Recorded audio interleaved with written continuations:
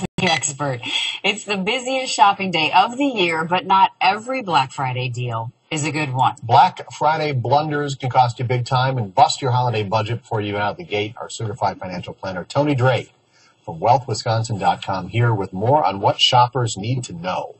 Yeah, it's a tough time to talk about budgets. Black Friday coming, but it's easy to get off the budget and get a little sideways if you don't pay attention right. a little bit. So we got a couple tips for everybody to help you stay on your holiday budget. First one is buying to save. Uh, one of the oldest tricks in the book: buy one get one half off. You know, most important thing coming in the holidays is to have a holiday budget. Make a list.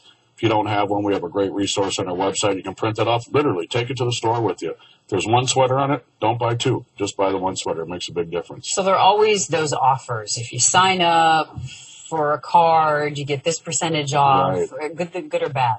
Yeah, that brings us right to our second point. You got to watch out for that. Maybe it's 15% off if you buy the retail credit card on average, those are about 23% interest, which is about double the, the national average. And 40% of us are not paying those on time. You're going to wipe out that savings real quick in interest charges. But Tony, I'm at the mall, busting my hump, doing all the shopping for everybody in the family.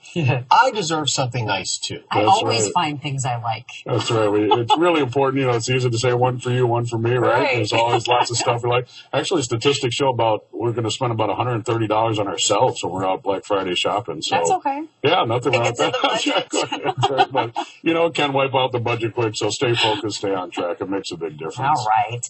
Um, what about going digital? Yeah, you know, smartphone. A lot of great apps nowadays. So, you know, many of us have smartphones. There's some free apps you can use. You can scan that barcode.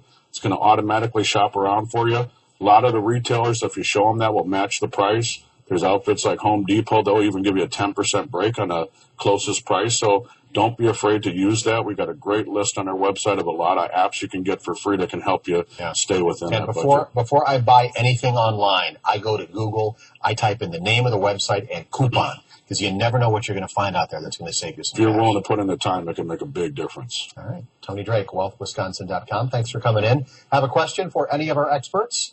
Send an email to asktheexpert at today'stmj4.com or you can leave a voicemail at that number on your